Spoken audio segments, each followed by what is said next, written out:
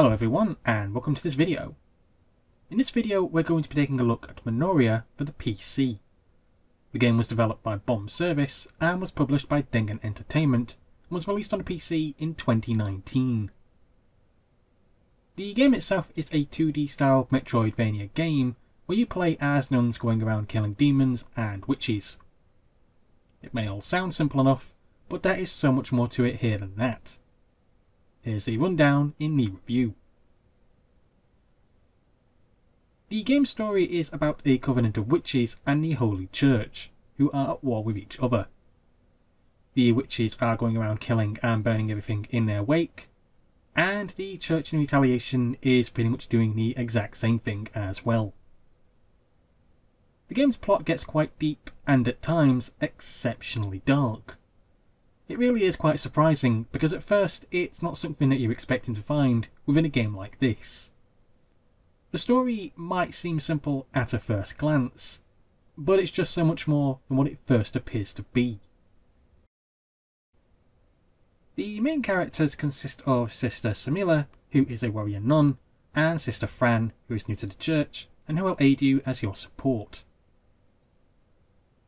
Both sisters are missionaries in the church's service, and both have been sent out on a mission to thwart a witch's ceremony.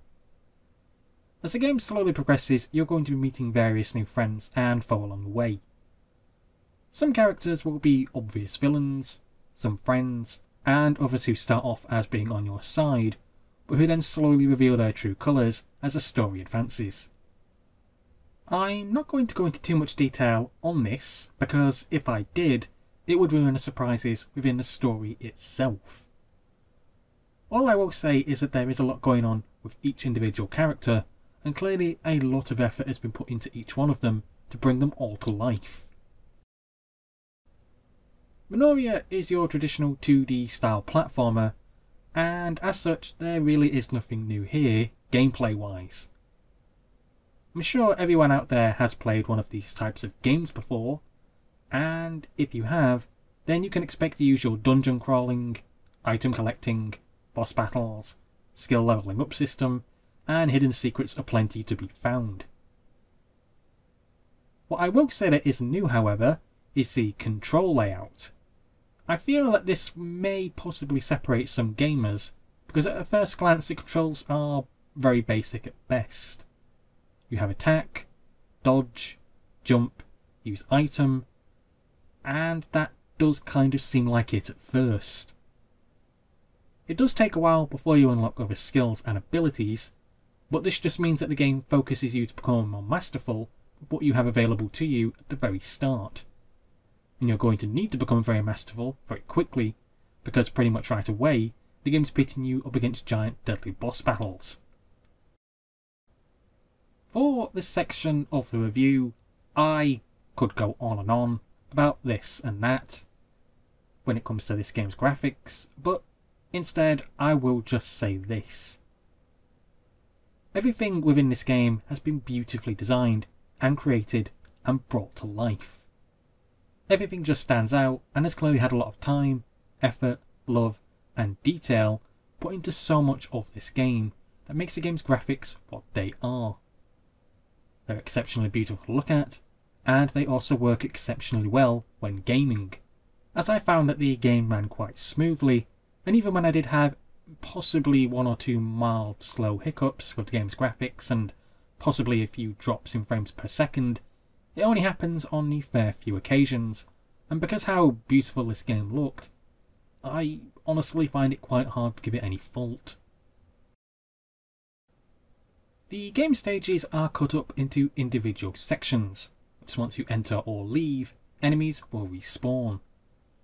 You're going to have big and small locations to adventure in, and as I already have previously stated, there isn't really anything different here from other 2D style platformers. If you have played these types of games before, then honestly you should really know what to expect. Something that is different within this game though, is that this game does do a great job of mixing vertical and horizontal stages at the same time. One moment you're going to be going from one side of the screen to the next, and then in the next location you're jumping from platform to platform climbing either upwards or descending downwards.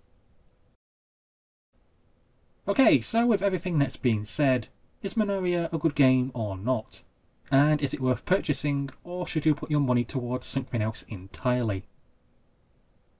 Personally, I feel like Minoria is more than worth it, as this game just keeps on surprising me with what it had to offer. This game's story is much more deeper and detailed than I thought it was going to be. The graphics are eye-catching, the music throughout the game is very fitting and masterfully created, and beautifully designed and put together. The combat system is well thought out, and whilst it is basic to begin with, it does require skill and patience later on to become a true master of what's being given to you.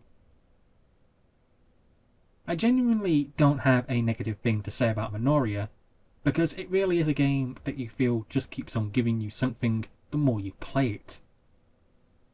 There are a lot of other 2D style platformers out there these days, but if you want something that's good, with a story that gets quite serious, has a cast of interesting characters, good combat style, and is a game which can very quickly draw you in, then get Minoria.